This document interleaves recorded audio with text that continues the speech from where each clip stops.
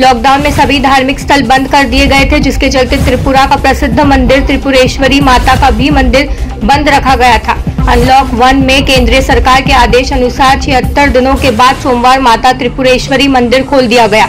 लेकिन बारिश के कारण ज़्यादा श्रद्धालु नहीं आए, जहाँ मंदिर के पुजारियों ने ही माता त्रिपुरेश्वरी माता की पूजा की। अब सरकारी नियमानुसार हर रोज माता त्रिपुरेश्वरी मंदिर खुला रहेगा। সেটা নিয়ে আমরা তো খুবই চিন্তিত এবং সবাই চিন্তিত। এবং আমরা চাচ্ছি যে ওইটা থেকে কীভাবে দান করবে, সেটাই মাছ যে একটু আশীর্বাদ না করে